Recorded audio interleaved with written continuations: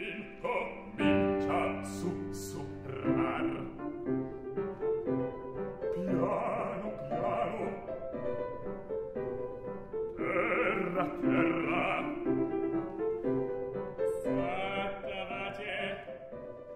My name is Thomas Shivone. I am in the Emerging Artists Program and I'm a bass baritone.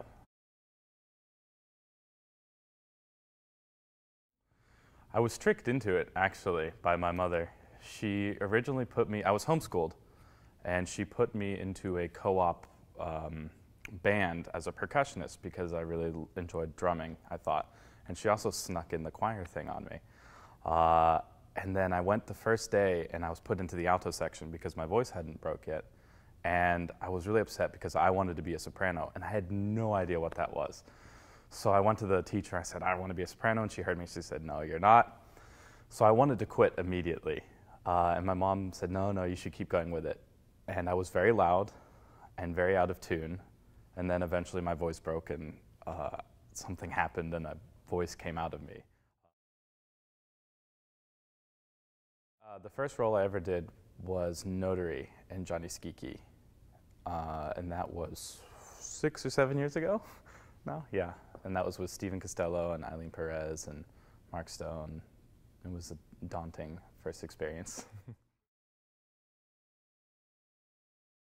really, really amazing experiences actually because I get to see opera from a whole nother side of it. I get to see it from a growth side, a production side, um, and it's something we don't often get the experience to do.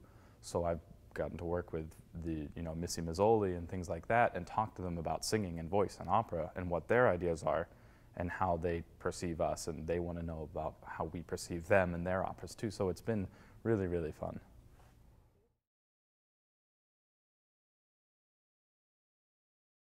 New music is generally a little more challenging to learn, at least. That's not all, that's not always true, but just in general. Um, but the stories, I think, is what makes it different, is because the stories are generally more specific to things we know now or feel. You know, whether it's a story about, you know, JFK or whatever. You know, the, these are things that are new to or near to us.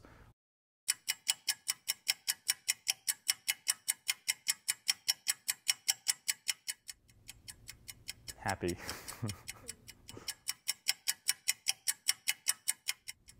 Mozart.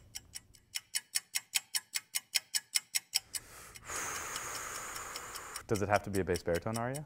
It doesn't? Oh, okay, great. Uh, then gelida manina. Nick Shadow. George London, Robert Merrill, Cesare Siepi. Uh, uh, actually, it's a burger. So I would actually have to say the Village Whiskey Burger. Yes, I do, very frequently.